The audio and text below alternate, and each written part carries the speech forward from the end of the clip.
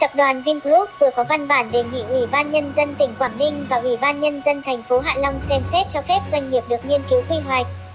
Đầu tư dự án công viên rừng Hạ Long tại khu vực phía Bắc quốc lộ 18A tại các phường Hà Khẩu, Đại Yên với quy mô khoảng 650 ha.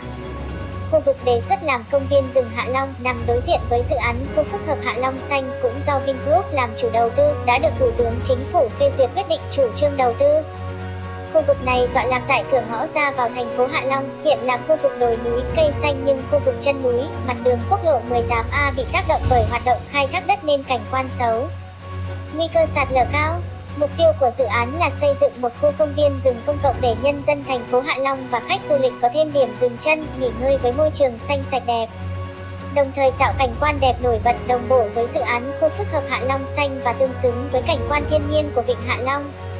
Tập đoàn Vingroup đề xuất khởi công thực hiện dự án công viên rừng Hạ Long trong năm 2022 và hoàn thành trong năm 2023. Như vậy là hoàn thành chỉ sau một năm triển khai. Ủy ban Nhân dân tỉnh Quảng Ninh giao ban xúc tiến và hỗ trợ đầu tư tỉnh Quảng Ninh chủ trì, phối hợp với Ủy ban Nhân dân thành phố Hạ Long và các sở ngành liên quan đề xuất nghiên cứu của tập đoàn Vingroup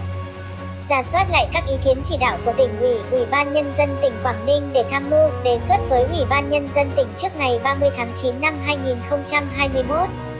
Nhiều người dân cho rằng, việc xây dựng công viên rừng Hạ Long ở khu vực này là phù hợp có thêm một điểm tham quan, vui chơi, xanh và góp phần tạo cảnh quan môi trường mà còn giữ lại được những dãy đồi xanh đẹp còn sót lại của thành phố. Cảm ơn các bạn ủng hộ nhóm thông tin bất động sản bằng cách like và theo dõi nhé.